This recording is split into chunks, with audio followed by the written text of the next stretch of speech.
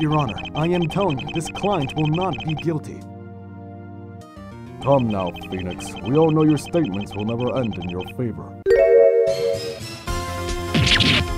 Oh, fuck! Guilty, guilty as charged, Your Honor, please.